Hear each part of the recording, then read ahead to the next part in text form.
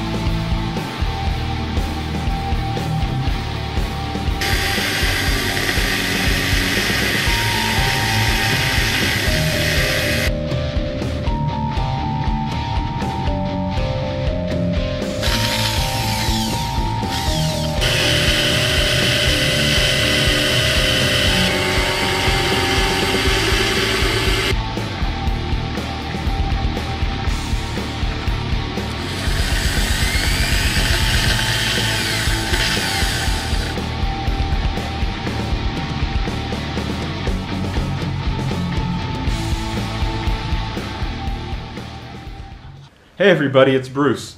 Uh, today I finished up my ring project and I think it turned out pretty great actually, much better than I expected.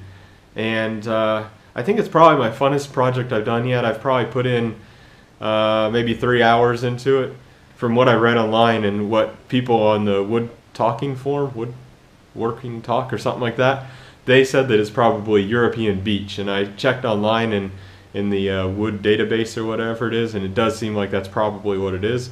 So uh, yeah, I'm pretty much done. It fits me. I'm really gonna wear it because my other one broke after. I mean, I've had that other one for like eight years or something. Now I'll wear this one. It's a bit more bulky for sure. I was a little bit too chicken to get really thin like like the one I bought. Maybe next time, or I don't know. And also, it was getting too thin on some areas and too thick on the others, so I figured I should just stop now.